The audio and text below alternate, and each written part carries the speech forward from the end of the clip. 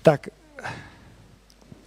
moji predrečníci, pred, predrečníci hovorili odborne, ja budem ľudovo.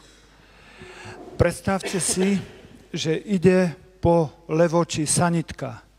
Ide po levoči sanitka, vpredu má červený kríž, má modrý majak, má hukáčku, sirenu. Všetci normálni ľudia uskočia, pretože vidia, že ide sanitka. A ešte má nalepku pomoc tyraným ženám. Tá, každý normálny človek povie, pánečku, idú pomáhať tyraným ženám. Kto vie, kto im ubližuje? Poďte na bok. Všetci na bok. Správne.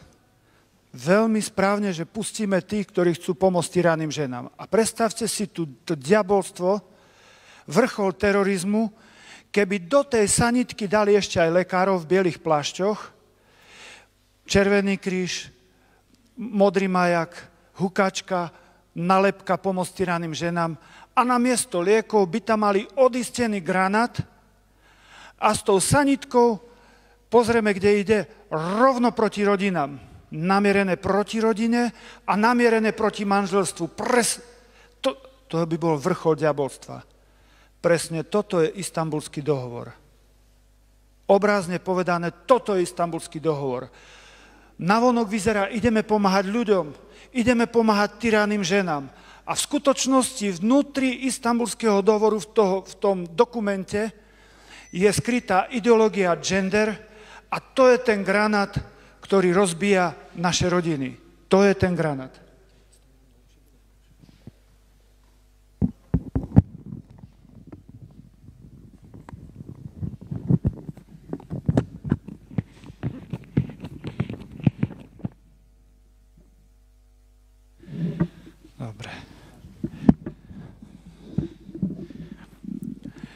Presne toto je istambulský dohovor.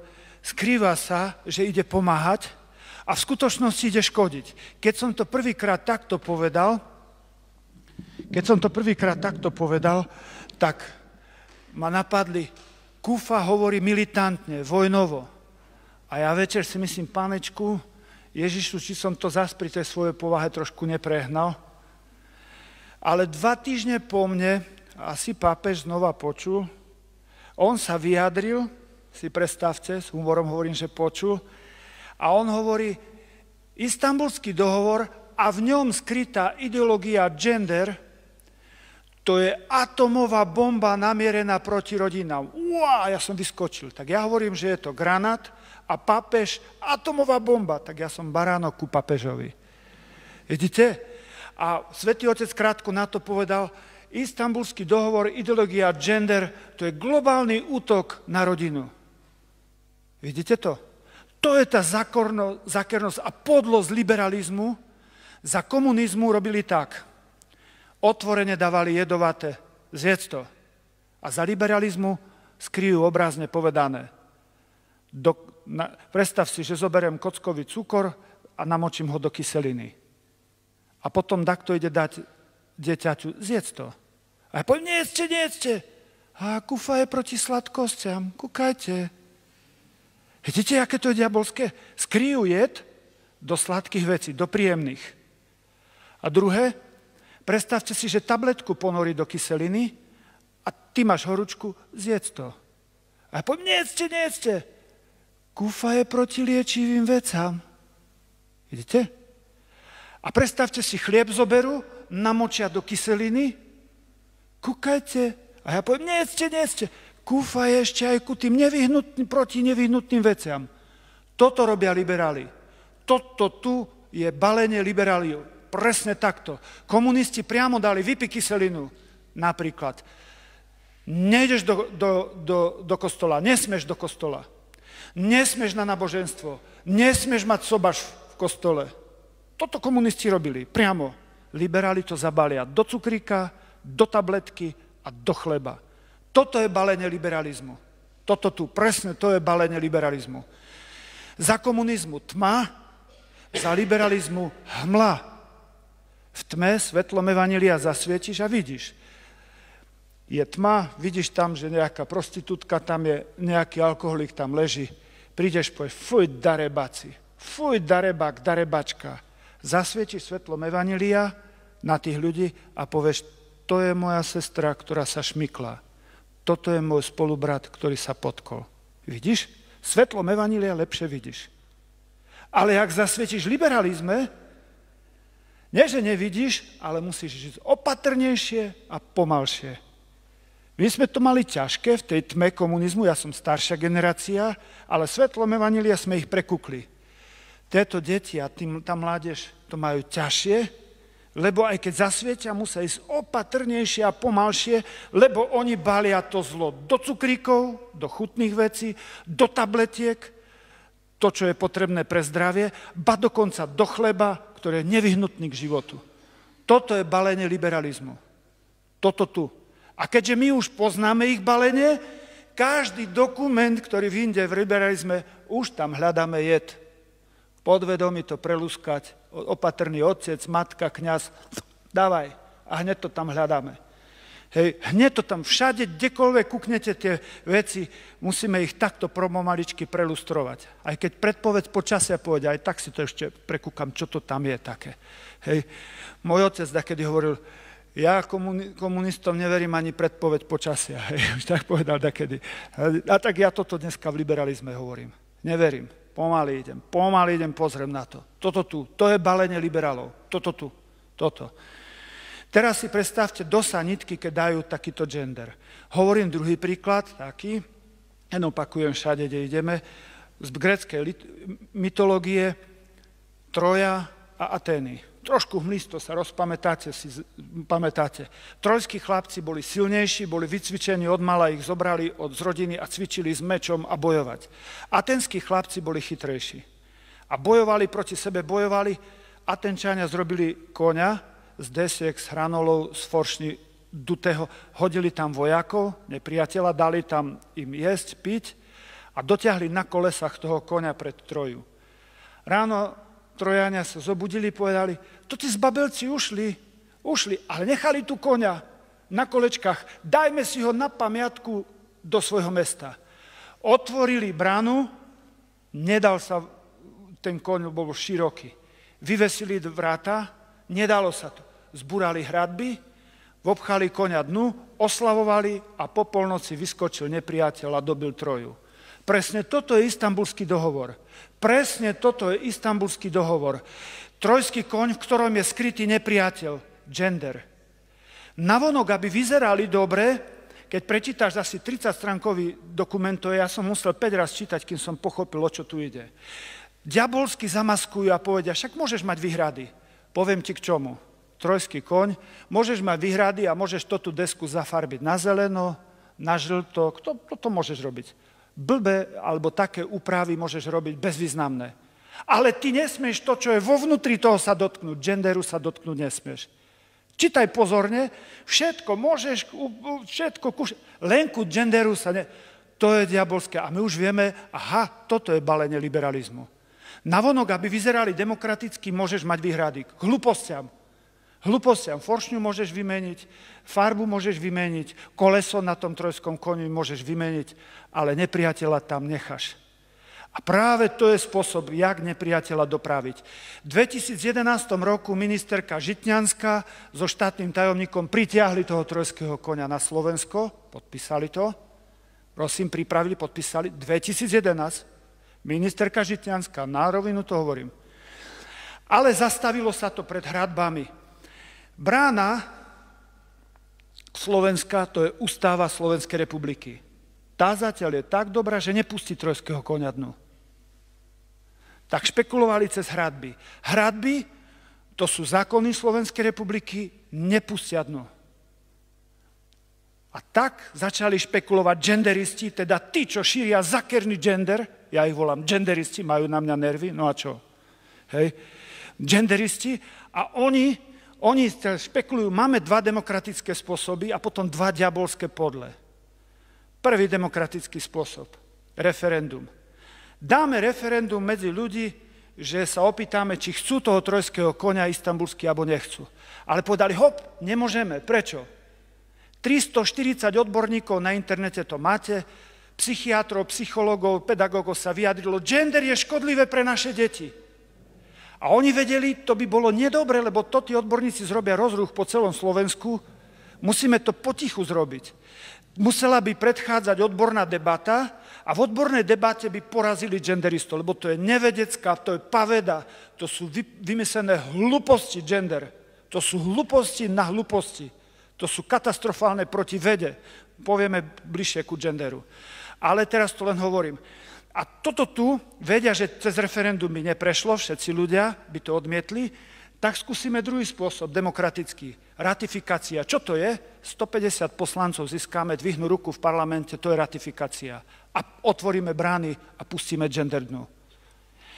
Našťastie ďakujem Pánu Bohu, že máme poslancov, nehovorím politicky teraz, ale hodnotovo, takých, ktorí nepustili toho trojského konia dnu.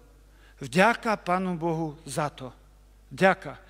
Tak vedeli, tieto dva demokratické spôsoby sú fuč, ale genderisti idú na diabolské spôsoby, zakerné. Dva.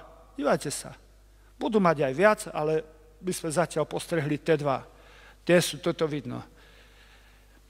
Každej normálnej demokratickej spoločnosti máš tri moci, ktoré sa navzájom kontrolujú. Súdna moc, sudcovia. Zákonodárca, zákonodárna moc, poslanci Slovenskej národnej rady. A tretie, výkona, policajti. Hej. A tieto tri moci, keď sa kontrolujú v demokratickej spoločnosti, súdna, zákonodárna, výkonná, tak funguje dobre demokracia.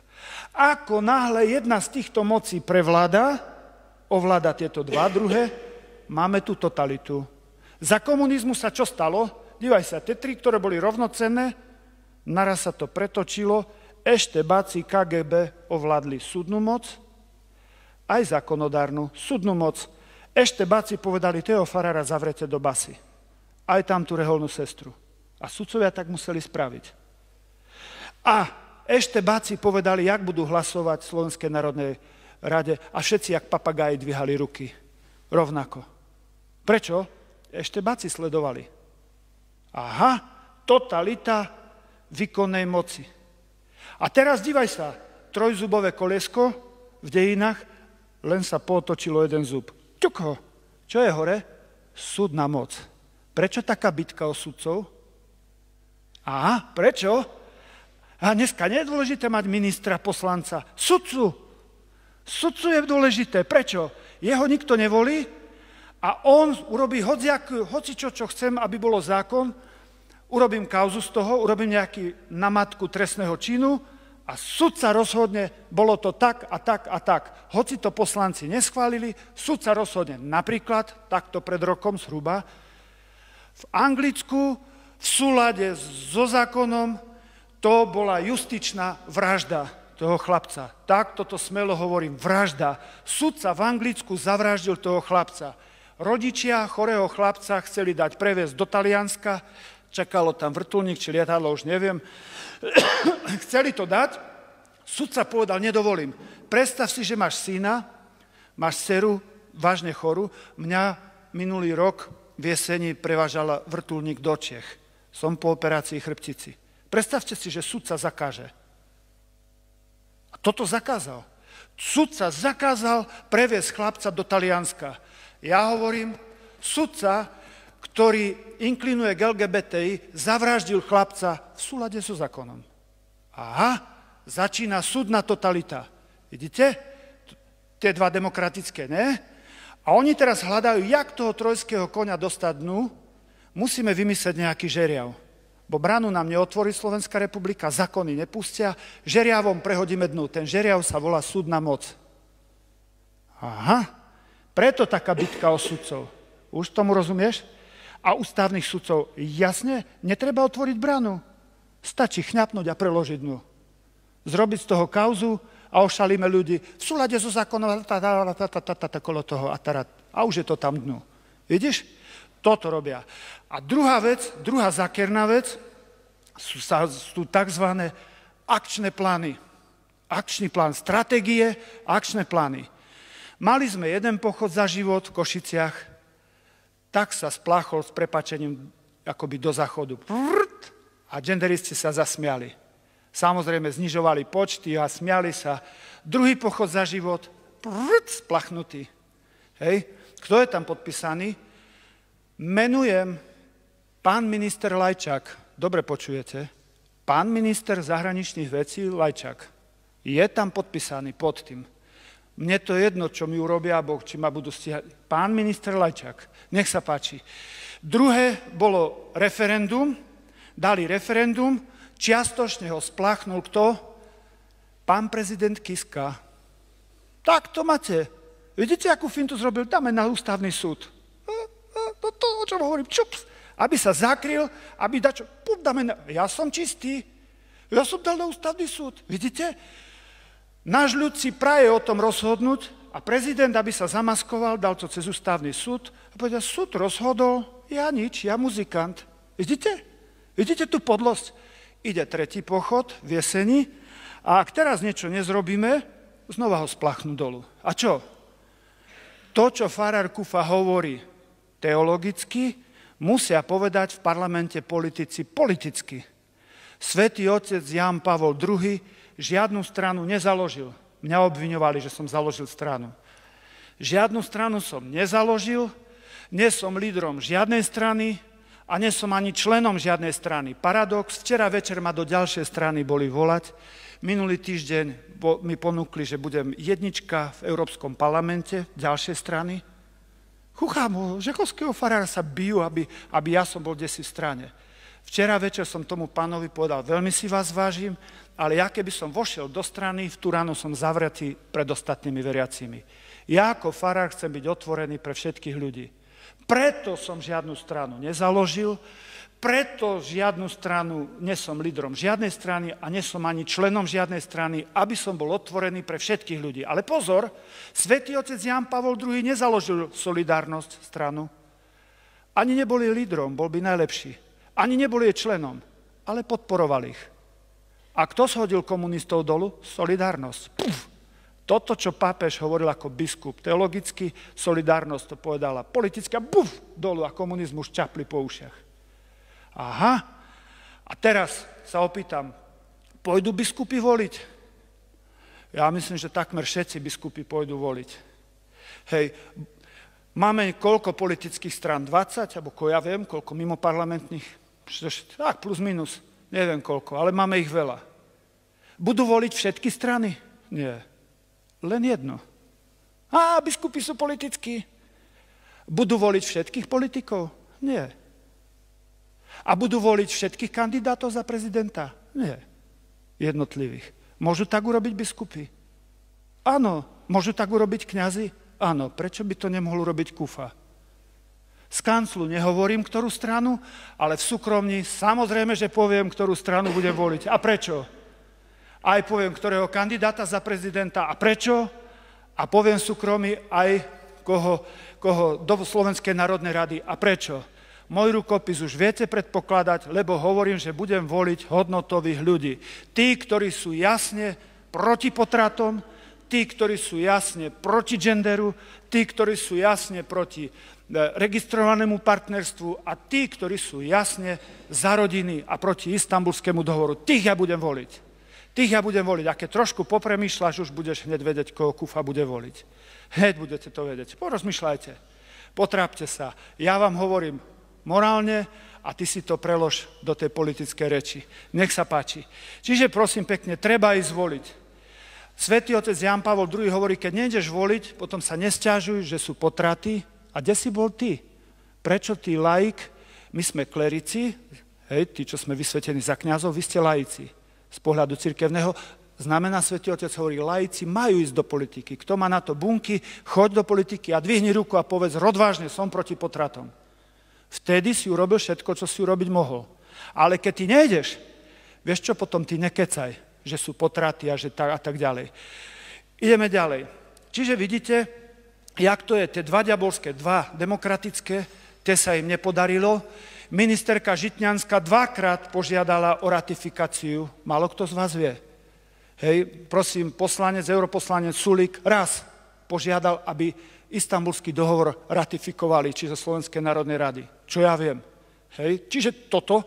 A my si kľudne spíme a kúkajte, oni medzi tým chcú otvoriť dvere a medzi tým chcú tak potom tým podlým spôsobom cez sudcov, tak jak v Anglicku, tam už začína totalita súdna, vytvoriť nejakú kauzu, nejakého sporu.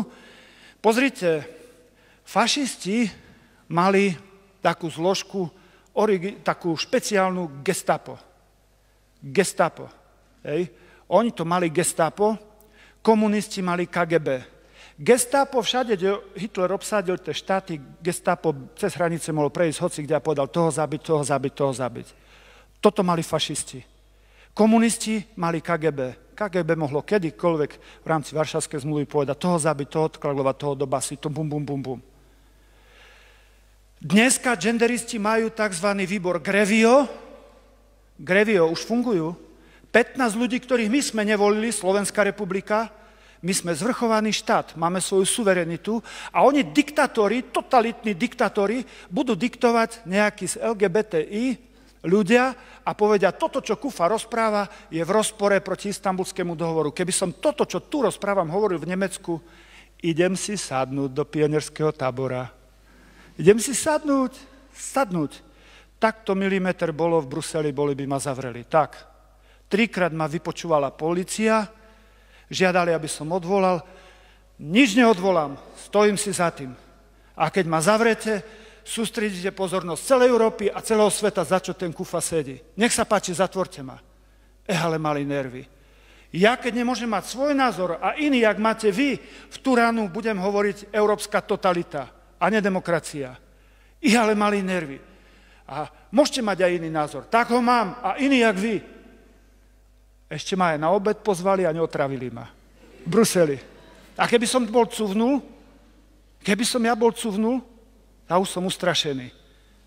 Ženu, deti nemám, nemôžete mi zobrať ženu alebo deti.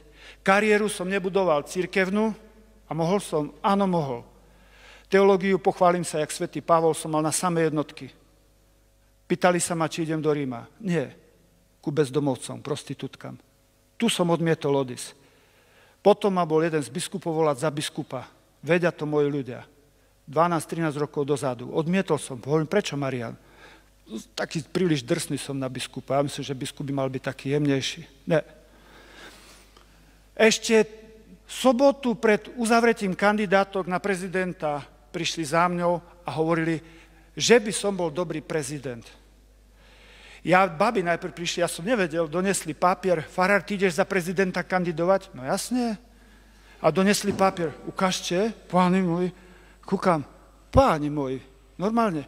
A dozvedeli sa, niektorí povedali, v prospech farára Kufusa dáme kandidáti, terajší na prezidenta mi odkazali, prospech farára Kufusa zdáme a vás budú voliť, bo vás poznajú. Naraz preferencie ponad všetkých. Odmietol som kariéru cirkevnú, Odmietam svetskú. Ani jednu bunku nemám prezidentskú pre pána Jana. Ani jednu bunku. Chcem zostať dolu farárom. Prečo? Chcem zachraňovať tých dolu.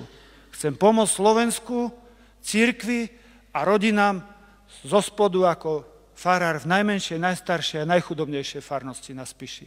Mňa všade, kde vykopnú, mňa len povyšia. Kňazom som na veky. No to čo mi chcete zrobiť? Ženu, deti nemám, že zoberete ženu, deti. Kariéru nemám církevnú ani svetskú. Keď ma zabijete, Amerika bez očista do neba. Ty, to je parada. A keď hovorím, a keď ma zatvoríte, čo bude v base? V base budem s väzňami pracovať, jesť, aj bývať. Ale ja to už teraz robím. Ja žijem s väzňami, s nimi pracujem, jem a bývam. Pre mňa basa bude pionierský tábor. Tu sa ja musím postarať o bývalých väzňov, aby mali čo jesť, čo obliecť kde bývať v base. Vy sa o mňa musíte postarať aby som mal čo jesť a kde bývať a čo oblesť. Na to majú nervy. Nevedia, jak ma zastaviť a tak hádžu špinu na špinu. Nečudujte sa, keď budete počuť, že farár Kufa vykolajil nejaký vlak pri Poprade alebo nejakú, že prepadol banku. Bu iné nemôžu, len somariny na mňa vymysleť, hlúposti, diabloviny. Nebuďte pohoršení, keď sa toto podozvedáte pomaličky v tej hmle svete Evangelium a pomaly, bo Kufa to hovorí, že také dačo bude. Bude, bude, bude. No a? No a čo? Tak špinte. Hej, pravda sa očistí raz a sama, vždy. Však sa očistí. Te vidíte, ten tretí spôsob som pri, prirovnal ku, predstavte si, máš dvojlitrovú nádobu džusu, multivitamín, v Tesku, alebo čo tu máte, akú, jaký, jaký, čo tu máte, Kaufland, Lidl, čo? Lidl. No, ktorému zrobíme reklamu? No tak nejaký hypermarket. Hej, počúvaj, utekaj tam, Mariena, čo? Lacný džus, utekaj ty. Žltý má takto napísané, 10% zdarma. Určite. E, určite sú charita, určite. Len ťa oklamu jak furt. To je liberálna lekrama, vždycky skrytá, skrytá lož. Skrytá lož. Skryté lož. Klamu, zahmlia. 10% zadarmo, určite. Hej, ty to mnohonásobne preplatíš v inom. Hej. No a teraz ty to tam máš, doneseš pre deti multivitamín, predstav si to diabolstvo, keby si v tvojom dvojlitrovom džuse mala, mal jednu tobolku hadieho jedu. To, čo ti zabije tvoju cerku a syna. A ty, matka, mu to kľudne naleješ. Presne toto je istambulský dohovor. 90% alebo 95, 99% dobrých vecí. Bo v istambulskom dohovore, keď to povrchne čítaš, povieš, že to sú dobré veci. Sú. Ale tam vôbec nejde o tie dobré veci. Tam práve ide o tú tobolku skrytú jedu. To je to. A ukázalo sa to vtedy, keď premiér Fico povedal, všetko dobré z istambulského dohoru zobereme, premieteme do našich zákonov, ale ideológiu gender, ako keby zrobil sitko a presitkoval. A ja som sa smial, tá im dobre vypálil genderistom rybník. Dobre vypálil. Oni by sa mali tešiť, a 99% nám prešlo. Uá, to je obrovský úspech. Keď ti 50% politikov prejde, 60% to je nenormálny úspech. A keď 99, tak mali skakať, nie? A oni mali nervy. Prečo? No lebo ich premer Fico prekúkol, lebo on povedal, ale gender vyhodím. To na to mali nervy. Aha, o čo tu šlo? Pomôcť tyranným ženám? Nie. Prečo tu prišiel Farar Kufa? Genderisti, pýtal som sa ich. My máme takmer 30-ročnú prax pomôcť tyranným ľuďom a ženám. Predtým som to robil neinštitucionálne, robil som to súkromne, pomáhal som tyranným ľuďom a neskôr inštitucionálne a už sme to normálne urobili tak v súlade s tými zákonmi, jak to máme v Slovenskej republiky. Mám 30-ročnú prax, Genderisti, ukážte mi, jakú prax máte vy s tyrannými ženami. Ukážte jedno jediné zariadenie pre tyrané ženy. Ja vám ukážem. Ukážte, či máte primerané vzdelanie. My ho máme. Primerané vzdelanie, primerané tituly, máme zariadenie pre tyrané ženy. Ukážte jedno jediné zariadenie pre tyrané ženy. Kto keca o pomoci ženám a kto naozaj im pomáha. Nemajú nič z toho, ale ukazujú, idem pomáhať tyranným ženám figu borovú a s makom. Hej, není to tak, nejdu pomáhať. Hej, to znamená, že toto nie je pomoc. Čiže vidíme, ukážem vám ešte jednu, teda tu som povedal dva demokratické a potom dva sú tie diabolské. Začal som s tým, že je tá súdna moc a potom sú tzv. akčné plány. Hej, to sú tie stratégie. A tam za tým je práve v tých veľa tých je práve pán minister Lajčák. Takto do roviny hovorím. Tam je on, ktorý má povesť dôveryhodného politika. Tak pozrime sa. 2014 až 2017 prvý akčný plán. Áno, stratégia. Ľudských práv. Hej. Nie, rodovej rovnosti. Už neviem, jak sa to presne volá, to môžu ma popraviť, čo to viete lepšie. Hej, prosím, rodovej rovnosti. Jak to prefikáne zahmlenie? Keby takto sa ozval proti, vy ste proti tomu, aby ženy boli rovné mužom? Nie. No tak ste za akčný plán. E, zahmlené. Ale tam nešlo o rodovú rovnosť, tam nešlo o toto vyrovnať ženu s mužom čo do dôstojnosti. Za to je aj kufa. Odkúkal to od Ježiša. Ježiš spravil toto. A feministky robia toto.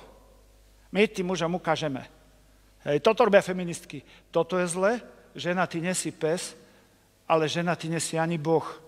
Žena, ty si rovnocenná partnerka, nesamica, partnerka muža. Toto je náuka církvy. Nám netreba istambulský dohovor. Hej, to je práva, toto tu je žena. Hej, a v tom akčnom pláne sa, na prvú šupu sa zdalo, že robia toto lebo nikto to nepostrehol, málo kto z ľudí vedel, nie? Rodová rovnosť, asi, aby ženy boli vyrovnané mužom, čo, to, za to sme. Ale tam nešlo rodovú rovnosť, že rovnakú dôstojnosť, ale rodovú rovnakosť. Na to my odmietame. Žena nerovná sa muž. Vyše 6 tisíc rozdielov, čo povedia psychiatri, psychológovia, lekári je, jak žena reaguje na iné podnety. Má muž menzes? Nemá. No tak jakže žena rovná sa muž? Jednoduchá vec taká. Úplne jednoduchá. No čo to, čo to také keci, žena rovná sa muž? No čo, to, ako, to, čo sú to za keci? Hej? A 6 tisíc je tých rozdielov. Takže to sú hlúposti. Zámlenie, zdanlivo sa zdá, že chcú robiť spravodlivú vec, vyrovnať ženu s mužom, a v skutočnosti tam išlo o tú ideológiu gender podsunúť do akčného. To sa robí najprv ľahký zákon, povedzte po anglicky, light, love, alebo jak? Love, hej, light, čiže ľahký. Ak si ľudia na to zvyknú, hard love, čiže tvrdý zákon. Jak si už na to zvyknú, to je, to je taktika salamky. Nechcem salamku, mamka, nechcem, nechcem, bo vidí takú štanglu. No tá mamka poreže na, na toto a tá dcera, ten syn zje salamku a nevie o tým. Toto je akčný plán. Toto celé Slovensko spolkne, lebo oni tajne oklamali, oklamali náš národ. Jeden akčný plán. Druhý. V 2015 tzv.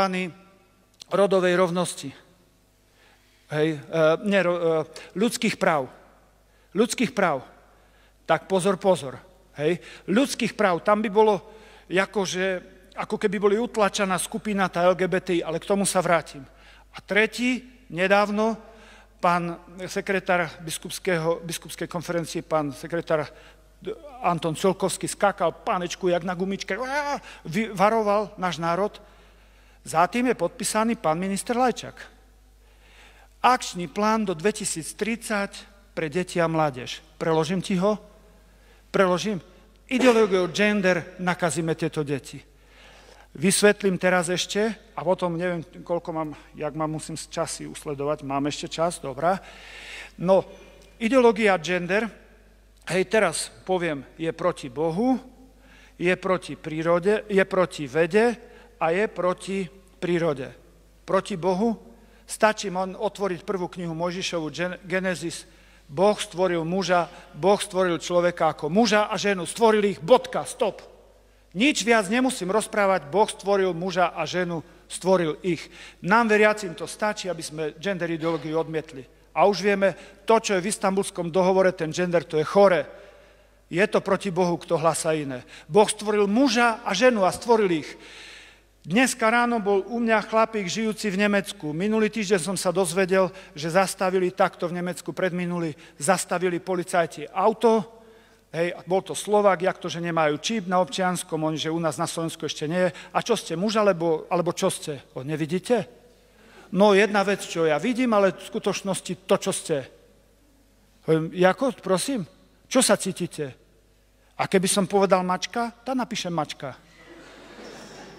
Skutočná udalosť, a dneska mi to ráno potvrdil chlapík žijúci v Nemecku, jemu sa stalo presne to samé. Presne to samé policia, keď ho kontrolovala, pýtali sa, že čo chce, že čo je. A on tiež tak povedal, keď som povedal nejaké zviera, napíšeme. Vy nie ste to, čo ste, ale to, čo sa cítite. Takúto gebuzínu hlasa gender. Ta ty nie si to, čo si, že muž alebo žena, Neboh je stvoriteľ, on ťa stvoril ako muža a žena. My, pyšní liberáli, budeme hovoriť, či ty si muž alebo žena nadutí liberáli, toto povieme, toto tu poviem, genderisti, a nie že liberáli, genderisti. My to povieme, že čo si ty. No tak keď ty si to, čo sa cítiš, to ja sa cítim Merkelova. Ja som Merkelova. Volajte ma Merkelova. Mne sa páči Farar Merkelova, ja sa cítim Merkelova. No tak nech sa páči. Tak čo som sa, sa cítim? Tá vy sa cítite žena, to ja sa ešte konkrétne, jak to? Ja mám jemnejší cit, viete, ja som Merkelova. Nie som len žena, ja som ešte Merkelova. Angela Merkelova. Nech sa páči. Hej. Pozrite, akú hlúposť, taraninu hlasajú genderisti. Hej, čiže je to proti Bohu, je to proti vede a zdravému rozumu. Otrhnem môj vlas, od kolegynky vlas kratíme na 5 cm, nechet, odstrihneme kuštík, trošku pokožky odsvakneme, dáme tam do laboratória. Nevidí ten lekár, skáde to vzali sme. V každej bunke vlasu, nechtu, pokožky, v každej bunke jej tela ona je žena a v každej bunke môjho tela ja som muž. Všade ona má chromozómy XX a ja mám chromozómy XY. Hneď vedia, či našli mŕtvého človeka, či to bolo žena alebo muž. Hneď to vedia. Experti to vedia. Keď je v rozklade, len kost nájdu a vedia, čo to je. A genderisti povedia si to, čo sa cítiš.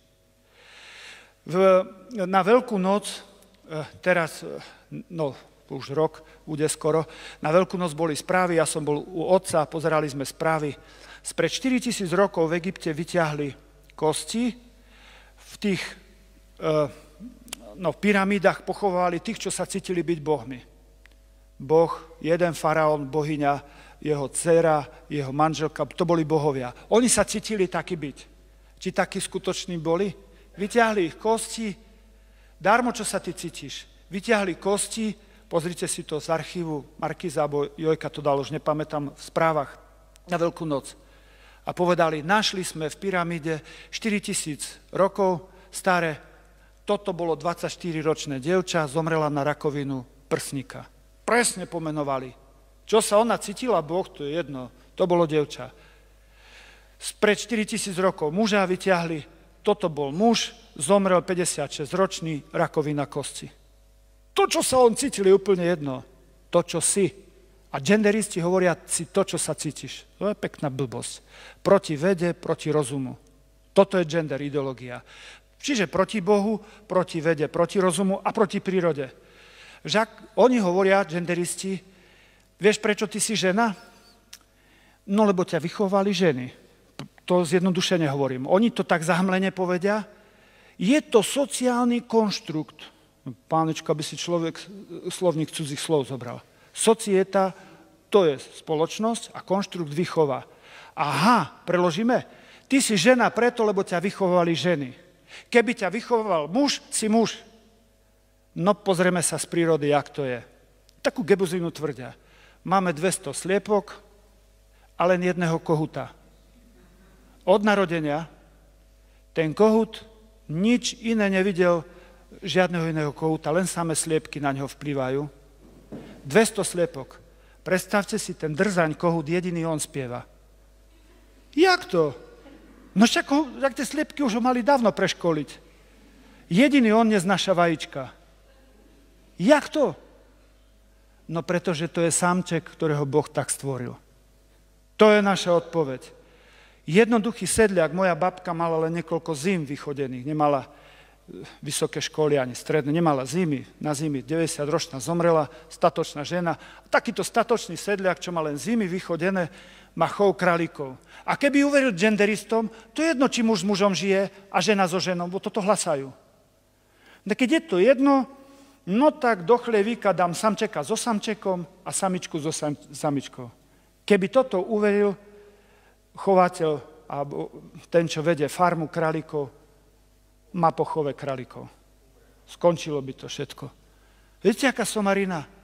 Ideológia gender je proti Bohu, sme si to dokázali, je proti zdravému rozumu a vede a je aj proti prírode. A toto nám býva, tieto kliny nám bijú do hlavy. Tieto kliny nám bijú do hlavy, toto musíte veriť. A keby som toto povedal v Nemecku, čo tu hovorím, tak skutočne idem do pionierského tábora. Idem si sadnúť. Idem si sadnúť. Hej. Tu vám som donesol jednu knižku, Tuto knižku dve dvaja, dve dvaja, tu sú dve ženy, dvaja muži. Aby ste si nemysleli, že gender to je to, čo je ďaleko inde, v zahraničí, na západe. Tuto knižku chytil statočný učiteľ základnej školy v Brezne. Tuto knižku. Tuto knižku vydalo, vydali to tzv. Inštitút ľudských práv, zase zahmlene. Odkrieme hmlu, genderisti, propagátori genderu, a je za tým ministerstvo zahraničných vecí, teda pán minister Lajčak. Táto knižka. Predstav si, predstav si tú vec. Počuli ste teraz, v správach ste videli, na severe Slovenska to, tá, to meso, ten, ten no, polské meso a hovedzina. A si predstavte, koľko to rozruchu narobila. Hneď vybehla ministerka polnohospodárstva správne. Hneď to tam zistila, odborníci sa vyjadrili, to meso nie je zdravé. To je chore meso, ohrozuje život. Hneď ministerka školstva sa vyjadrila správne. Obidve ministerky, neviem za akú sú stranu, ale považujú, po, verejne ich pochvalujem za to. Jedna i druhá mala, mali strach, že sa nakážia ľudia a ministerská školstva aj deti. Tieto ministerky si zasluhujú pochvalu. Prečo? Vypočuli si názor odborníkov, povedali, toto meso je chore a preto ho jednoducho odmietame. Táto knižka je chora. 340 odborníkov povedalo a pán minister Lajčák nepočuje. Predstav si, že by urobil som to, aj keď odborníci povedali, meso je chore, ale dávam ho zadarmo, dajte ho do školských jedální. To by bola podlosť, ne? Je to podlosť? Otravilo by to naše tela našich detí. Toto tu je tak jedovatejšie, než to meso, toto tu je jedovatejšie, než to meso a minister Lajčák kľudne nechá, ale ja to dám zadarmo, rozdáme to v školách, veď to není povinné. To meso, keby tak ministerka dala, však už je na Slovensku, rozdajme zadarmo. Vieme, že to škodí, nelajčak hovorí, odborníci hovoria, škodí to a napriek tomu to dám do škôl, nechajte zadarmo. To je vrchol podlosti. Vrchol podlosti. Toto tu je horší jed pre naše duše, pre naše telo, pre našich detí, než meso z tých kráv. Toto tu, táto knižka, táto knižka, môže si ju objednať riaditeľ školy, keď ten učiteľ, čestný učiteľ, odvážny, prišiel za riaditeľom, pán riaditeľ, kde to máme v štandardách, ukážte mi, kde to máme v osnovách, že to máme učiť.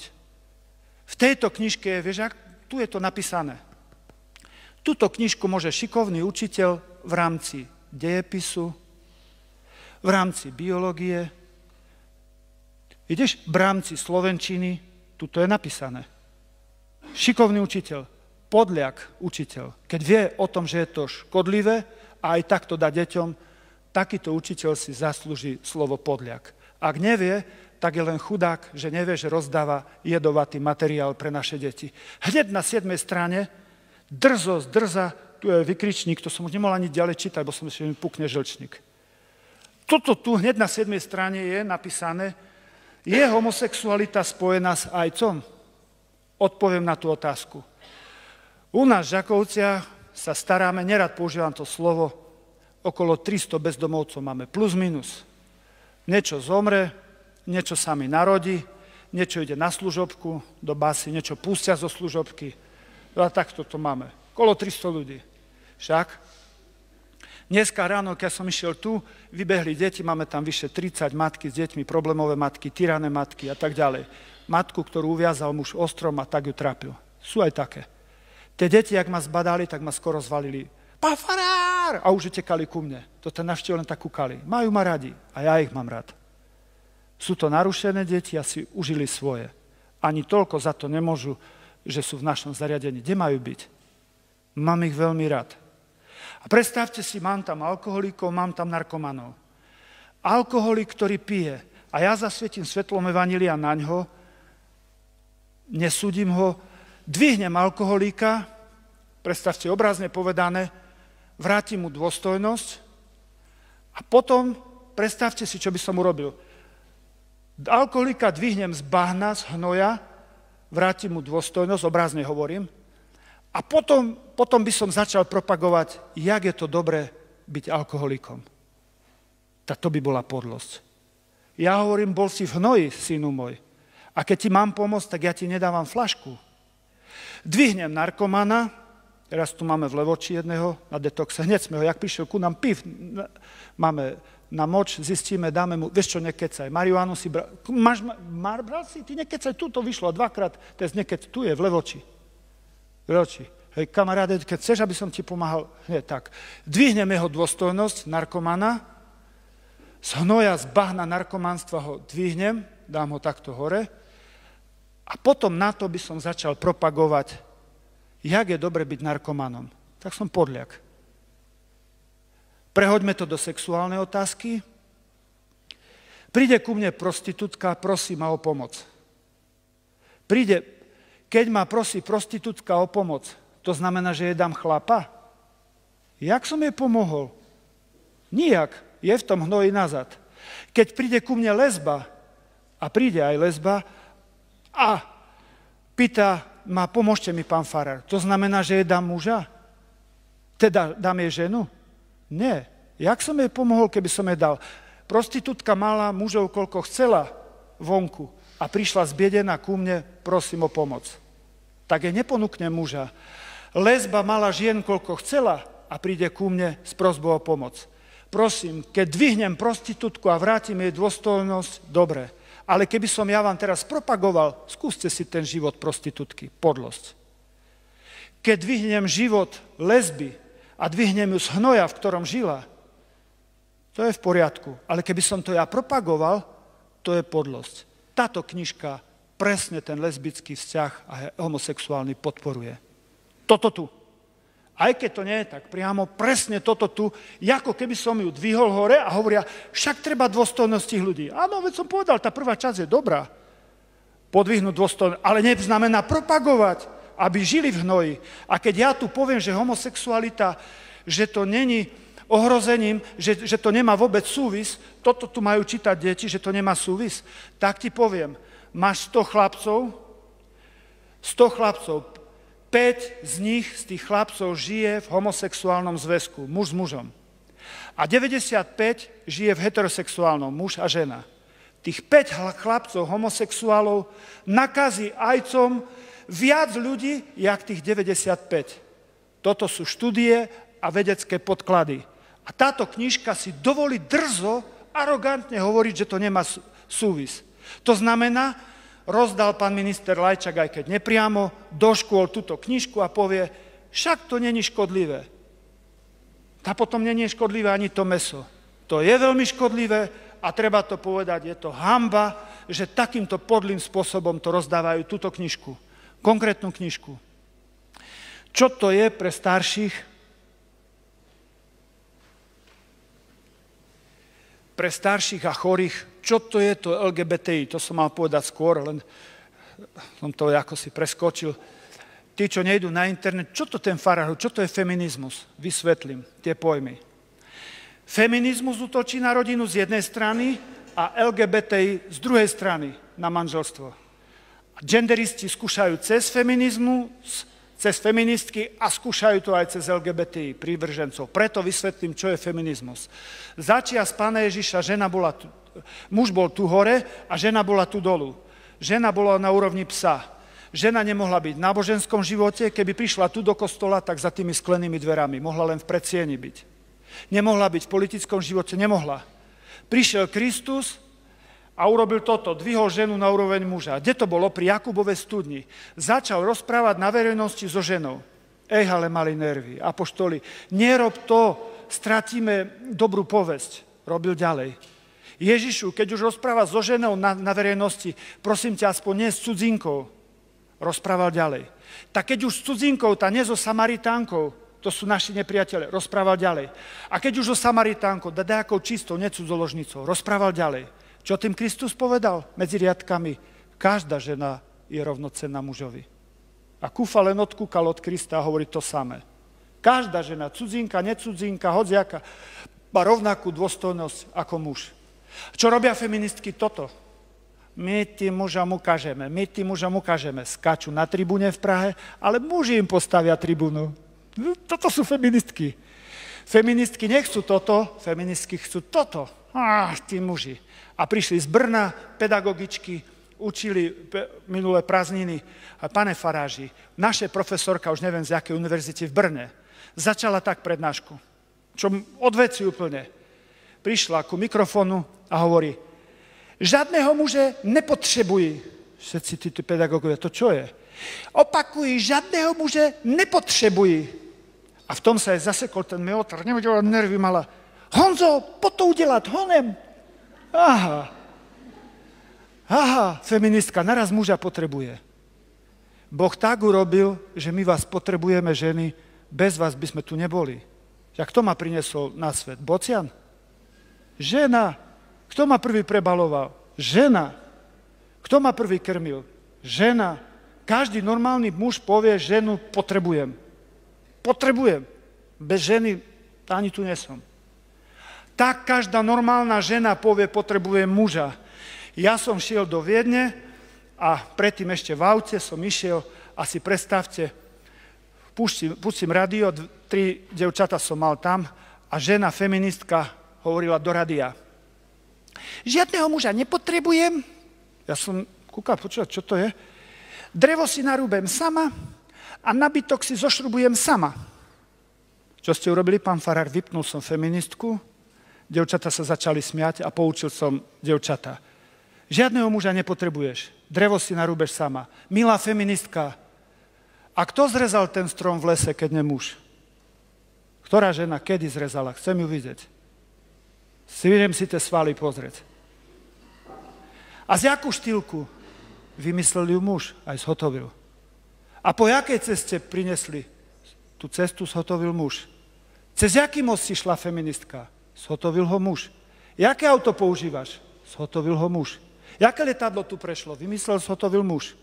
Jaká helikoptera? Vymyslel sotovil muž. Feministka, ty si zošrubuješ nabytok sama? A kto tie desky pripravil na nabytok, keď nie muž? Kto vymyslel ten šrubovák, keď nie muž? Kto vymyslel zhotovil šrubku, keď nie muž? Feministka, čo máš oblečené? Kto vymyslel ten stroj, čo to zošil a spletol? Muž. Čo máš obuté? Kto vymyslel ten stroj, čo to vystrihol a zošil tieto panky, keď nie muž? Muž. Povedz, aký máš lak na hrave? Sotovil ho muž. Jaké máš naušničky, milá žena? Sotovil ho muž. Jaký máš lak na nechta? Sotovil muž. Feministky by bez mužov dodneska skakali po pralese a nahe. Keď som toto povedal vo Viedni, som myslel, že ma zabijú. Čo ste to povedali? To, čo ste počuli. Uvedomite si, kde ste? Áno, vo Viedni. Uvedomite si, čo hovoríte? Áno. A dvihle sa si jedna petina, naraz odišli preč. Som neviem, či ma budú s kabelkami čakať vonku, či dostanem vyprask. Pozor, Kufa nerozprával proti ženám. Ja som povedal, bez žien nemal by kto postaviť most, keby ne žena. Nemal by kto zhotoviť lietadlo, keby ne žena. Nemal by kto zrobiť tú cestu, keby ne žena. A teraz nakoniec to najkrajšie, čo muž, zhotovil, urobil vždycky z lásky k žene. Nože, povedz mi, pre koho postavil ten tvoj ferodom, keď ne pre svoju ženu? Pre koho spravil tú cestu, aby sa matka nepotkla? A pre koho ten mostík, aby cerka nespadla do vody? Tie najkrajšie veci impuls dostáva vždycky od ženy.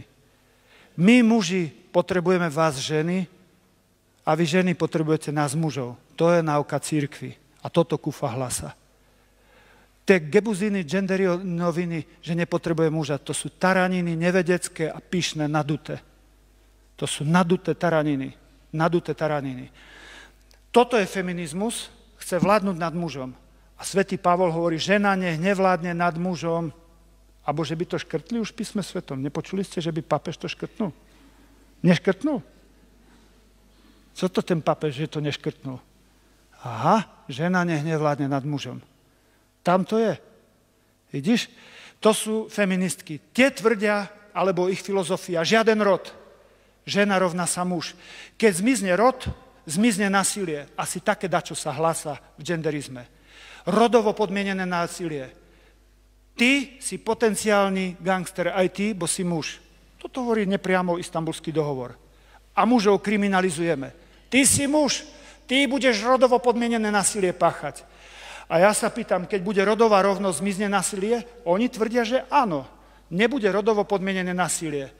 Áno, nebude sa volať rodovo podmienené, ale bude sa volať násilie rodovo rovné.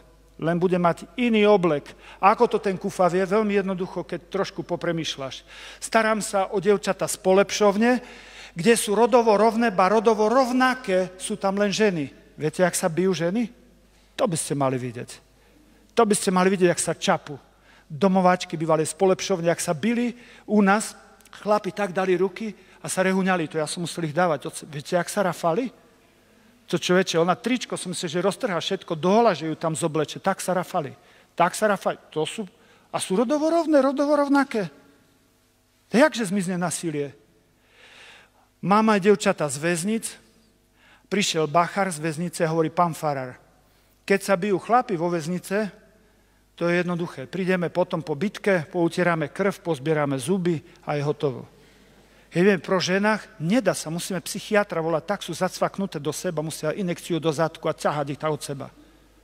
Jakže nasilie zmizne? Však sú samé ženy tam. A ďalej my máme týrané ženy a my museli sme teraz v krátkom období trikrát volať policajtov. Nedávno, tretíkrát. Jak to? A sú tam len samé ženy. To sú keci, že nasilie zmizne. To je podľa lož istambulského dohovoru. To je snaha kriminalizovať muža a byť nad mužom.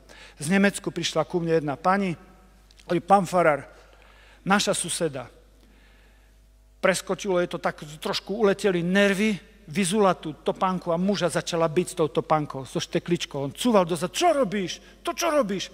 Chytil ju za ruky, začala jačať, susedia zavolali policajtov, čo myslíte, koho zavreli? Muža a deti nedospele kričali, ale to mamka za to môže. Nepomohlo. Násilie pachané, muž, muž je hneď skriminalizovaný. A keď ženy to chcú, feministky, ja sa opýtam, kto vás ochráni pred teroristami. Keď z mužov zrobíte babovky. Babovky robia z mužov. Istambulský dohovor. Muž je nacukrovaný, napudrovaný, cukru, cukru, cukru, cukru. Babovka. Kto ťa ochráni? Pred, pred... Keď je muž razantný, to nie je nič zlého. Razantný. Len musíme, keď má vnútri srdca razantný muž lásku, to bude špičkový zachránár. Vylez hore, vykopne du, du, du, du, do ohňa, vbehne a vyťahne malé decko z auta. Vybehne hore na poschodie, rozbije tam oknom, preleže s rebríkom, vykopne dvere, druhé dvere, tretie a vyťahne ženu, zachráni. Razantný muž. Razantnosť to není zlé. To není nič zlého, to je správne, to je normálny chlap. A k tomu tam vloží lásku do srdca žena. Keď žena, matka, keď mu vloží do srdca tú lásku, tak je to správny chlap. Není to cukrovinka, to je muž mužom a je navonok drsný, ale vnútri je plný lásky. Takýto muž je ohromným prínosom pre našu spoločnosť. Nie jemnučky, aj žena môže byť jemná a môže byť zabíjačka. Zobere jed, ciankali a povie do kávy, Ferinko, daj si kavičku. To bude tvoja posledná kavička, Ferinko. Keď je takto jemný, neznamená, že nemôže byť škodcom. Nerazantnosť a jemnosť rozhoduje, ale v srdci, či si dobrý alebo zlý, to rozhoduje. Istanbulský dohovor to vonku rieši, ale kresťanská morálka rieši to vo vnútri. Síl, v, na Litmanovej som bol, jeden z biskupov tam mal omšu pred minulé leto a povedal jemnosť, to je rozumom kontrolovaná sila. Jemná žena a 10 mužov spacifikovala. Jak to ten farár vie? Betonovali sme, bol som chlapec, dáš so snehom, sichrávou, robili sme to a babka vyšla, chlapci skončiť, nie babka, musíme tú platňu dokončiť. A to sa nedá, babka, polovičke musíme. Babku sme vytisli dnu, vošli sme dnu, premočený, premrznutý, zime nosí tak, tá babka vytvorila také teplo domova, žena, matka vždy vytvorí to teplo, ten kozub. Nikto iný na to nemá. Muži by sme sa pozabíjali. Ale keď je tam žena, a je normálna žena, babka, stará žena, žiadna postavička, tvarička, ale ak sme vcukli dnu, všetkých nás cuklo, si myslím, pani, jak ona pripravila ten stôl, jak na svadbu. Sadli sme si, jedli sme, každý sa načgával s chlapom, a babka urobila jedno kolečko, hneď vedela, ten má rád sladké, to ten má mesorad, ten radšej kompot, ten radšej uhorky. Nič nehovorila, len obsluhovala. Keď sme sa do, dojedli, pán majster za vrch stola sedel, začal dvojzmyselné žarty. Babka mala v rukách knedliky. Som teraz nevedel, či poletí knedliky, či miska do neho. Babka dvihla takto hlavu, nenenavisne, ale takto prísne pozrela na majstra. Pán majster sa skoro v omačke utopil. Kúkol, zahambil sa a prestal. Táto žena, žiadne svaly, lásku v srdci a jemnosť na vonok. A 10 tých mužov ovládla. Nikto sa nepovažil ani pipnúť dvojzmyselné. Ani pipnúť. Táto žena 10 mužov dala do smutku. Také ženy buďte. Tieto ženy sú správne. Tieto ženy sú správne, to je s Božím duchom. Tieto vychovajú statočných chlapov a perfektných mužov, usmerňa. To sú správne ženy. Toto je náuka církvy. Vidíte? Takéto ženy. Ten istambulský dohovor, vrátim sa ku nemu, Pozrite, z druhej strany som povedal LGBTI. Čo je to pre starších? LGBTI, LGBTI. Aby sme to vysvetlili, tak to poviem v jednoduchosti. Každé Vianoce dávajú rozprávku Popelka. Aj teraz dávali, aj pred rokom, pred rokom si pamätám, som prišiel ku otcovi, hej, Popelka je krásna rozprávka. Povedzte, ktorá žena by nechcela byť Popelka. Každá by chcela byť. Všetci, chceli by ste byť popelka, ne? No a ne, však to je krásne, však. A môžem, ďakujem pekne. Vidíte, to je pekné na žene, že má zmysel, vidíte, toto, najkrajšie na žene je čo? Ženskosť. Žena si všimne to, čo si muži, muži jej vôbec nevšimnú, hej? To, to, také to majú byť ženy, to je správne.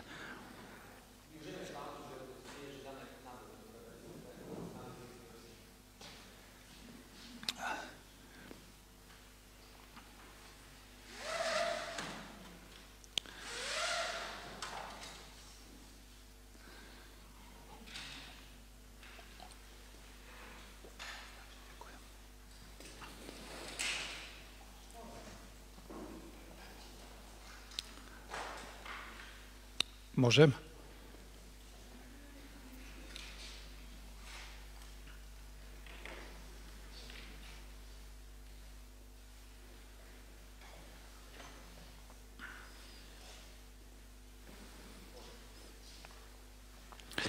Hovorili sme, jak feminizmus utočí na rodinu, rafinovanie, žiaden rod, zlikvidovať rody. Čiže padne otec hlava rodiny, žena srdcom, to padne to, keby to prešlo. Takto feministky. A tu LGBTI hovoril som o tej popelke. Hej. Jak to tak pekne bolo, zošiel som ku otcovi už ku koncu. Už tá, naraz badal ten princ, že tá popelka nie je popelka, že to je princezna. Na bielom koni a ten princ je dáva tú črevičku. Ja vodem dnu ku otcovi, otec ani nedýchal. Tak to kúkal. Na spame to poznal, ale tak pozeral, hej, slzičky na pokraj. Krásne to bolo. To je pekné, ten prstenie dáva. Každá žena normálna by chcela byť takou popelkou. LGBTI preložím. L, lesby, dve popelky. Nie, že jeden princ a princezna. Princezna na koni a princezna ju ide chytať. To by som chcel vidieť, jak ju chytí do ruk. To by pošla do kolien dolu. Jak by ju chytila tá princezna? To je L. Pre starších, aby rozumeli, čo to je L dve ženy, dve popelky. Je po rozprávke. G, dvaja gejovia, dvaja princovia. Jeden na koni a druhý sa na ňo usmieva pod koňom. Myslíš, že by tak brali, jak popelku, po mužsky, keby ho drapnul za Gagor, hýbaj dolu, čo tam se, hej, tak by ho chňapnul. Je po rozprávke, bo po mužsky by ho bral. Keď je muž, tak by ho tak bral, a nie sa cukruje tam s ním. To je také nadcukrované, to je odporné, fuj. Zoženštený muž, fuj a zmuštená žena, tvoj, tvoj. Na žene je najkrajšie, keď je žena. Vtedy je žena priťažlivá. Prečo? Toto muž nemá. Čo nemá? Všetko ostatné má, len ženskosť nemá. Keď si ty žena, stávaš sa nenormálne priťažlivou. Neboj sa byť ženou, veď hneď po Bohu nejde pápež ani biskup, ty menej farár. Hneď po Bohu ide žena. Neboj sa byť ženou. Hneď po Ježišovi ide žena. Žena, neboj sa byť žena. Čo sa bojíš byť žena? Buď ženou, normálne hneď po Bohu ide žena. Čiže toto je L, G, B, starší to ani možno nepočuli ešte, bisexuál, to čo to je? Do obeda mám pomer z popelku po obede s princom. To je bisexuál. To je bisexuál, to je bi. To znamená, ale viete čo, keďže ja mám veľa peňazí, keďže ja mám veľa peňazí a považovali by ma za blázna, Prekrutím to. Kúpim si novinárov, tých sa dá najrychlejšie kúpiť. Kúpim novinárov, ktorí budú naopak rozprávať, kúpim psychiatrov, psychologov a politikov, prekrútia to. A nie ja som blázon. Vy všetci ste blázni, ktorí mi to zakazujete. Ja som normálny, že žijem do obeda s popelkou, po obede s, s princom. Vy ste nenormálni. Toto je bisexuál. Bi to je dva. Sexuál aj so ženou, aj s mužou mám šmak na ženy a som si to vyskúšal s každou ženou, vyskúšam s mužmi. Bisexuál, to je B. L, G, B, T. Transsexuál, čo to je? Popelka sa dá preoperovať na princa. To je trans. Alebo princ na princeznu. To bude čaptáva princezna. Prosím. Prosím. Toto je trans. A také hlúposti budú byť ženom, deťom kliny do, do škole. Víš, ak to oni nažívajú zahmlene? Keďže rodičia traumatizujú deti, nechránia pred takouto pliagou, traumatizujú, budeme to robiť v škôlke. Vyzlečeme deti, jak v Nemecku, štvoročné deti, ohmatkávajú sa chlapci, devčatka štvoročné. Chceš pipinka alebo pipinku? Vyber si. Toto je gender v praxi. Toto je diablová robota. Štvoročné devčatko, štvoročné devčatko má riešiť, či babika zatvára očka alebo nezatvára, či kričí mama, či sa pocikáva, nebo toto má štvoročné devčatko. A ne takýto hrubý, bezohľadný, nevedecký zásah diabolský do sexuality dieťaťa. Kto to dá dokopy? Kto to dá dokopy potom? Nedovolme. Prosím vás, nedovolme. Čo s tým môžeme urobiť? Ideš voliť? A pozeraj na kandidáta, ktorý jasne hovorí proti genderu. Choď voliť. Povieš, to je malo voliť. Vdova, chudobná vdova dala najviac a dala dva haliere, ale dala všetko. Urob všetko, čo urobiť môžeš a pred Bohom je to výborne. Pôjdeš voliť prezidenta, kúkaj, ktorý sa nebojí jasne hovoriť proti genderu, proti istambulskému dohovoru. Budeš voliť do Europarlamentu, hovoria odborníci, nastane toho roku bitka rozhodujúca. Lajčak sa chystá toho roku gender schváliť. Istambulský. To znamená, toto, čo budem hovoriť, toto, čo už teraz ma budú ťahať za uši, čo to ja rozprávam. Jak prejde gender, isto, isté idem do pionierského tábora, do Leopoldova. Mám rád makovníky, posielajte mi makovníky. A v makovníku nejaký pilník, že sa prepilujem von. A nech ma zavrú. Nech zavrú, ja budem len rád. Zviditeľne. Za čo ten kufa sedí? Za to, že národu povedal pravdu. Hej? Toto tu... E, Farár Kufa vidí čierno-bielo. Tak má genderisti. Čierno-bielo. A vy vidíte duhovo. Ja mali nervy. Farár, ktorý nevidí čierno-bielo, zlý farár. Čierno-bielo Bohu vďaka, to je pre mňa pochvala. Vidíš, to je čierne, synu môj, to je hriech. Toto ti škodí. A vidíš, to je biele, to je čnosť. Toto ti osoží. Keď farár nevie povedať, čo škodí duši a čo osoží, na čo taký farár? Bohu vďaka, keď farár vidí čierno-bielo. Tendre, poldre, emisie, CT, transportery, to ja nemusím riešiť. To nemusím. A vy vidíte duhovo a zaujímavé, v duhe práve chýbajú farba biela a čierna. Viete všetko, tendre, poldre, emisie, transportery a ja neviem, čo ešte, CT a neviete, čo nášmu národu škodí? Toto, hriech. A neviete, čo mu osoží? Toto, čnosť. Bedá kňaz by nevidel čierno-bielo. Musí to vedieť. Kto to povie, keď nemi kňazi? Aj za cenu obety? Áno. Že dačo urobia? Stavte sa. Tu vám dopredu hovorím, že urobia. Urobia. Ja sa snažím žiť v milosti posvecujúcej. Milosti posvecujúcej si v rukách Božích, z pohľadu sveta si nezraniteľný. No čo mi chcete zrobiť? Nože, chcem vidieť, čo mi zrobíte. No vymyslete akú diablovú vec. Uvidíte. Lebo oni vidia my čoraz viac, čoraz viac na Slovensku, čoraz viac, čoraz viac, pochody v piatok, čoraz viac. Kríž zasvietený, také banery, Pana Maria a furt putujeme ku škole alebo ku okresnému radu, kdekoľvek. Putujeme vonku, keď robíme púť, znamená, chcem niečo zmeniť, nechcem zostať na mieste. To je púť. A my tú púť pod ochranou Matky Božej s ružencom ideme. Čiže vidíte, toto sú čo, čo je e, lesby, útočia na rodinu, na muž a žena, muž a žena na to z jednej strany a z druhej strany LGBTI, útočia na ženy. Čo je to gender? Predstavte si, že by som teraz prišiel povedal, prosím vás, odrežte mi pravú nohu. A prečo? Chcem vyzerať jak Mariena. Zavolajú psychiatriu, tu máte z psychiatrie blízko. Poďte šikovne sem, pani primárka. Ten farák chce, aby odrezali mu zdravú nohu. Psychiatra zavolajú. Odrežte mi ľavú ruku. Prečo? Chcem vyzerať jak Mariena. Preskúmajú ma zdravú ruku, zdravú. Na psychiatriu patrí farár. Neodrežu.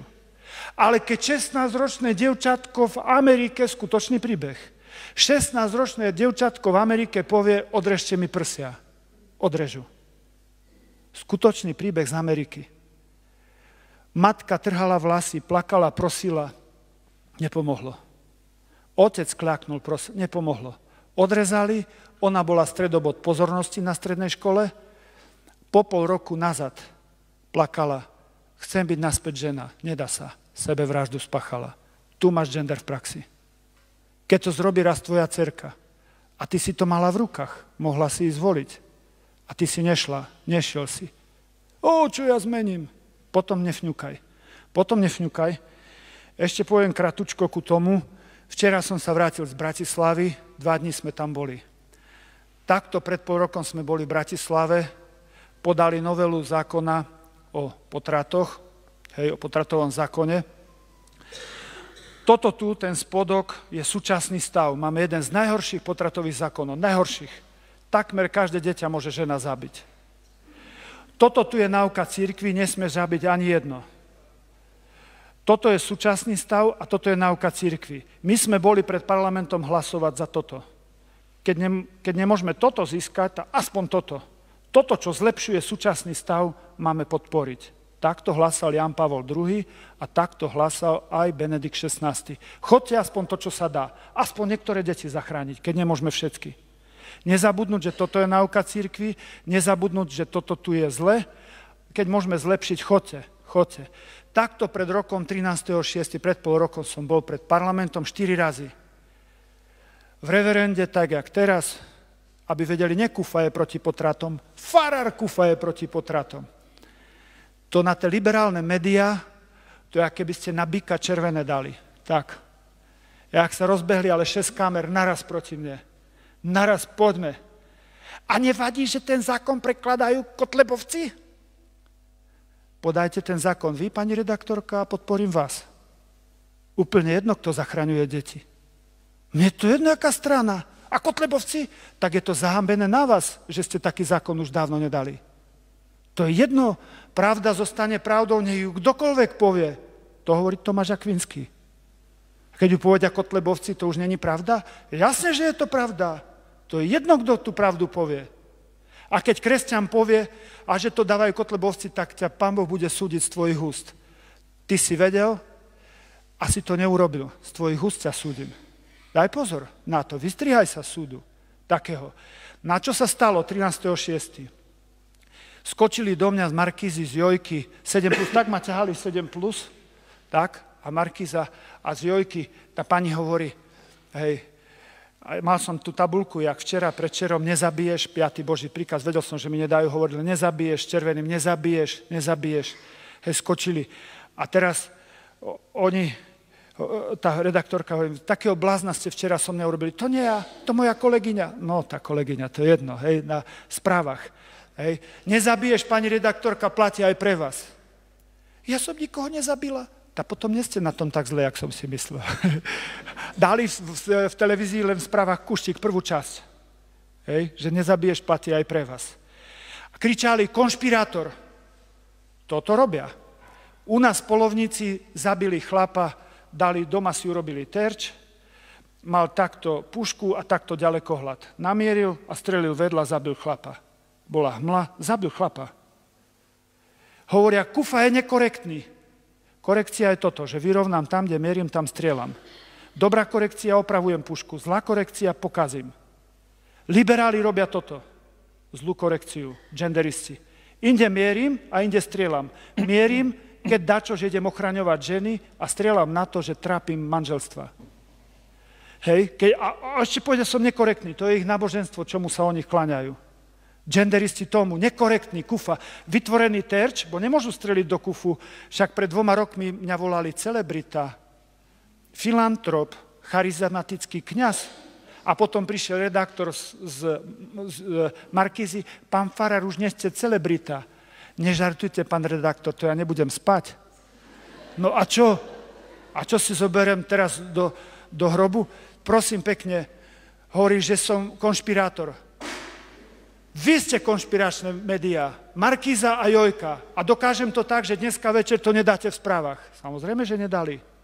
A ak hovorím pravdu, ja klamem, tak vy ma môžete zrujnovať, lebo ja musím zacvakať za úražku.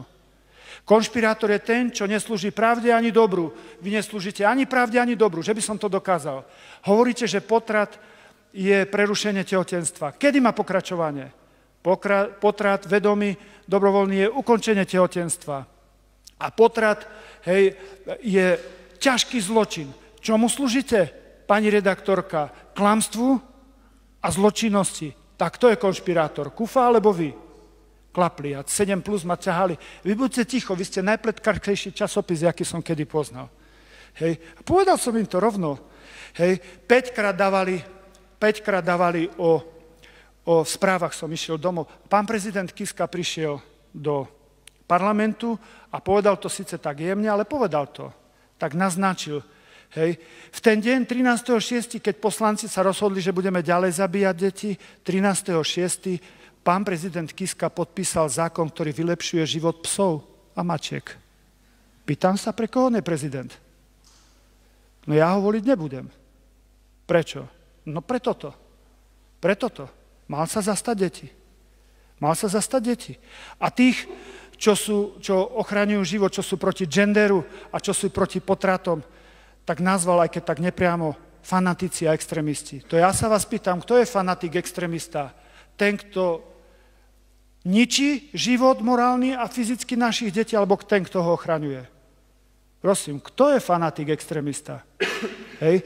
Potom v správach 5 krát dali zvieratka, dali ponad, ponad e, e, deti. Prvé, psička, tá redaktorka, joj, taký psiček, joj, psiček, psiček, psiček, joj, dva týždne sme, a psička, toto, joj, správa, joj, skoro sa rozplakala.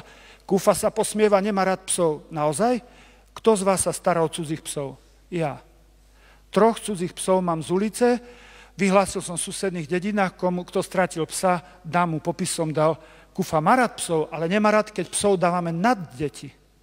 Potom to bolo o psíkovi medvedíkovi, to vyšiel na 5. 6. poschodie, joj, psíček, aby nespadol, joj, do košíka.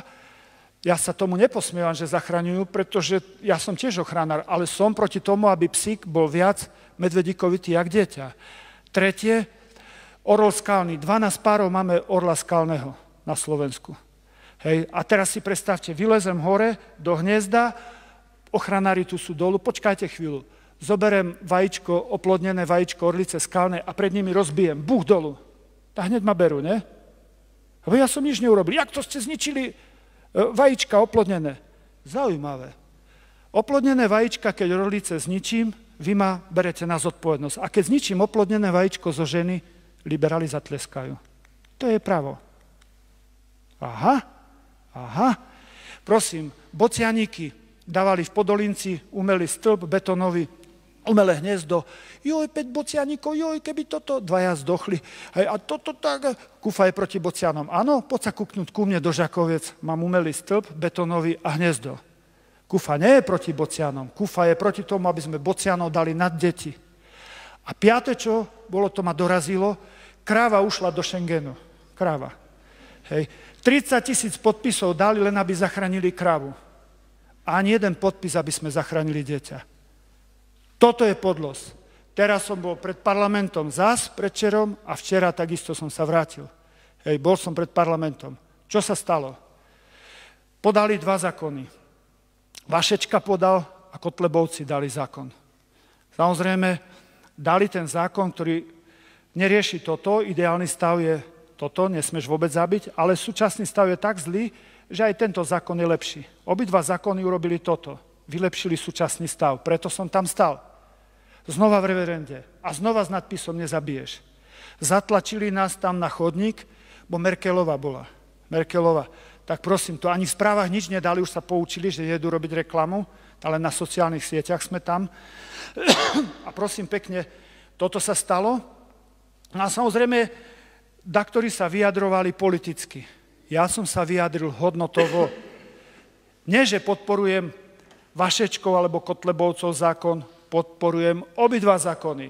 Aktivisti, kresťanskí aktivisti začali, že Kotlebovci nemajú dobrý úmysel. Úmysel, ktorý dokáže uhadnúť jedine Boh, takto si dovolí povedať, že nemali dobrý úmysel. Pán Boh ukázal ich úmysel na vonok včera, predčerom, pred parlamentom. Bolo to výborné. Si predstavte, čo sa stalo. Hej.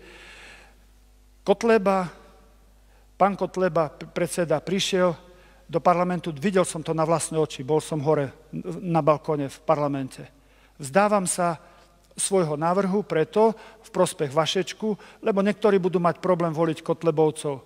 A mne nejde o to, aby my sme mali politický prospech a slávu, takýmto spôsobom nejakým povedal, ale o to, aby, aby ten zákon prešiel. Klobúk dolu pred tým chlapom. Môžu sa zlostiť a pučiť, koľko chcú liberáli. Ja som zbehnul dolu a som kašľal na, na, na tie, čo sú tam kamery a toto. Rovno som šiel ku nemu, podal som mu ruku, pán predseda, veľmi si vás za toto vážim.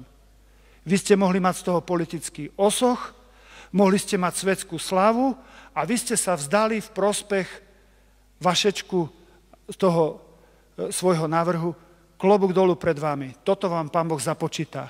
Ste jedna z človek, ľudí, ktorí ste dvakrát do parlamentu dali za život. Za to vás pán Boh odmení. To, čo kričia o nich, že sú fašisti, ale nedokázal to žiaden súd. A pozrite, je to zahambujúce, keď ľudia, ktorí majú názov fašisti, dávajú na záchranu života. A kto ste potom vy, ktorí ste nepodali a ešte na nich utočíte? A úmysel krásne sa dalo prečítať, keby mal úmysel politicky, da by to nezrobil, bo by chcel mať, aby potlesk patril Kotlebovi. Hej, prosím, títo neschválili poslanci, ale pán predseda, zasluhujete si tak či tak pochvalu, pretože ste sa uh, uh, zastali života. Nech sa páči, tam to bolo včera vidno. Bolo to jasne vidno, predčerom tieto dni, dva dní za sebou bolo 8. 9. tuším, či ktorého dneska. No, 7, no, 7, 6, a už neviem tie datumy, bo tu už tak neskoro idem aj spať, aj všetko, hej. No ale prosím, toto chcem ukázať, potom mňa vytlačili, aby som ja čo povedal. Zobral som mikrofón, chytil som mikrofón, pred všetkými ľuďmi som povedal. Chrániť životy našich detí, to není len právo určitej skupiny, ktorá povie, to je naše právo, ukradli nám agendu. Chrániť životy to nie je právo nejakej skupiny úzkej, to je povinnosť nás všetkých. To je jedno, aká politická strana. Keby aj z ulice takto prišiel a chráni život, len tak náhodou by tu bol, je to statočný chlap. A ten, kto nechráni život, ten nech sa zamyslí. Mohol som zachrániť životy, e, dvihnúť ruku v parlamente, jak som pochválil predtým pana e, toho premiéra Fica za to, že odvážne vystúpil proti, e, proti genderu, tak trošku ma zarazilo, že hlasoval proti tomu zákonu. Myslím, tu na urobil nesprávne. Verejne to hovorím.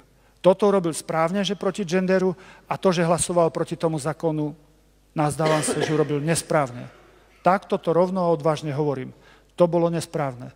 Ale majú ešte možnosť za pol roka, však pevne verím, že podajú ešte taký zákon do konca volebného obdobia. Musím končiť, aj keď som to sa snažil to tak ponáhľať za to tak kostrbato. Sláva Jesusu Christu.